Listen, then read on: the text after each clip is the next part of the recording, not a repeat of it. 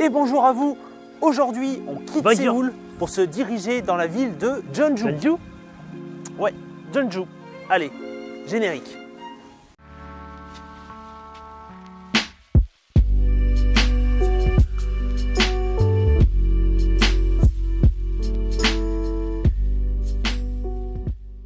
Jeonju est une ville touristique située au centre de la Corée du Sud. Il aura fallu environ 2h30 de bus pour pouvoir y aller et se rendre à destination de Hanok Village. C'est quoi ça? Et bien en fait, Hanok, c'est le nom qu'on donne aux maisons traditionnelles coréennes et japonaises. Japonais? Mais on est en Corée? Et oui, en fait, dans les années 1900, la Corée du Sud était envahie par le Japon. Mais c'est dans les années 30 que les Coréens ont décidé de construire un village afin de prouver aux Japonais qu'ils contestaient leur présence. Allez, on se trouve dans le quartier historique, tu vois, où tu as plein de, de vieux bâtiments euh, qui ont été reconstitués, tout en bois. C'est vraiment très très joli. Tu as des petites boutiques, des petits restos, tu peux faire location de costumes, donc tu as beaucoup de personnes qui sont en costume, tu vois, partout. Et euh, tu peux même louer des, des- des petites, euh, des petites mobilettes, tout ça, si tu veux te promener avec. Donc c'est vraiment très très bien ça.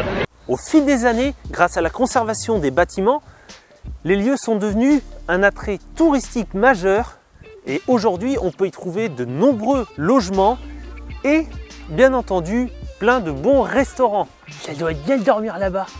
Et bien justement, on en a profité pour dormir dans un de ces logements traditionnels et autant dire c'était vraiment génial.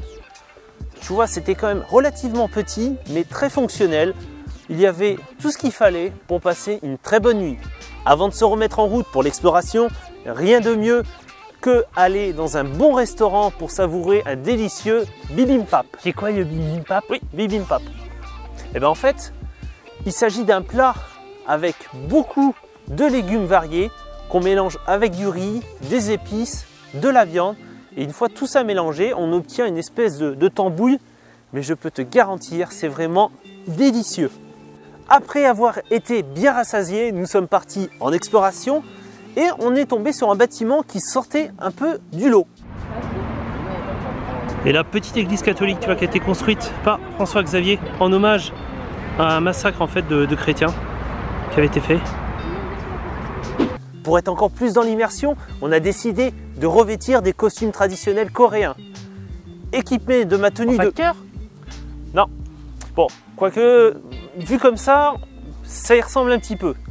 Tu t'es mis donc en conducteur de train. Voilà, conducteur euh, de train, cheminot, coréen. Je vais faire les contrôles euh, dans les prochaines heures et je serai sans pitié. Non, en vrai, c'est quoi le costume Non, c'est un costume de d'écolier euh, coréen Ouais. d'époque, tout simplement. Avec la, tu vois, t'as la petite chemise, tout ça. Euh, ça passe bien. Juste un peu chaud parce qu'avec le temps qu'il fait. Mais voilà, c'est c'est sympa. Nous sommes partis visiter le sanctuaire de Gwangjinjong. Tiens, ça me fait penser. J'ai fait le montage de la vidéo là pour la suite. Euh, tu veux voir? Vas-y.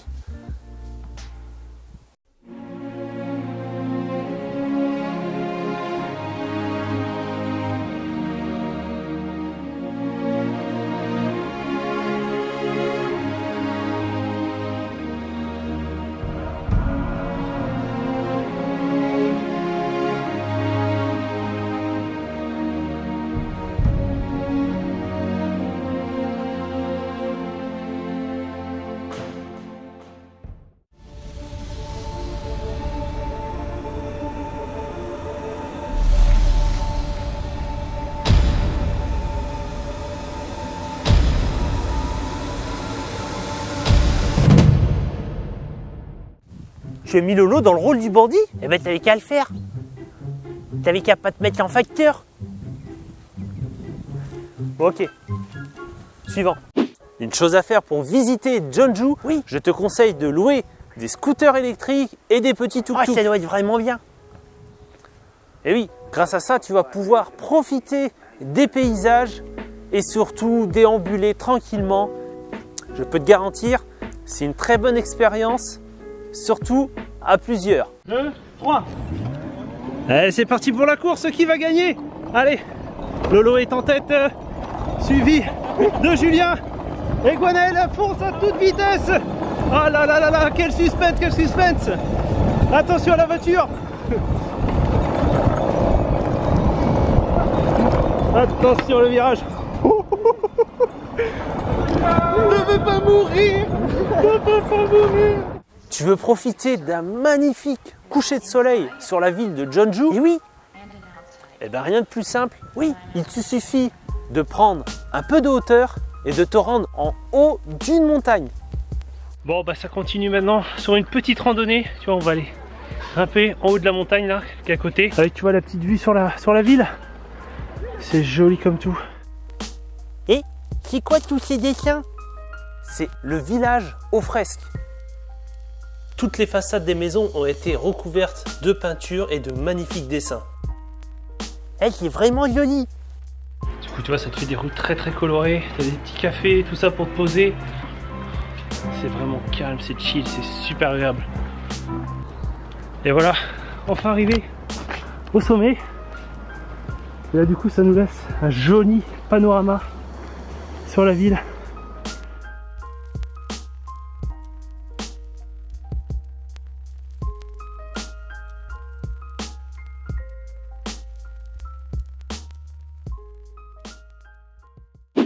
Avant de rentrer, j'allais pas te laisser partir sans tester une autre spécialité culinaire, le tteokgalbi. Et ça a l'air très bon.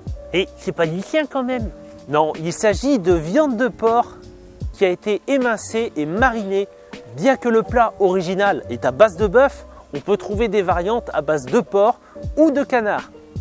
Mais ce qui est sûr, c'est que pour moi, c'était un des meilleurs plats que j'ai goûté en Corée du Sud.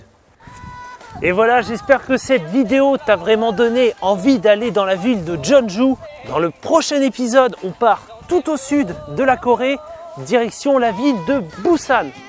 Et je peux te garantir, il y aura son lot de surprises. Continuez à nous suivre sur les réseaux sociaux et aussi vous pouvez nous soutenir en regardant gratuitement des pubs sur Utip et sur Tipeee. Alors n'hésitez pas, N'hésitez pas à partager au maximum cette magnifique saison.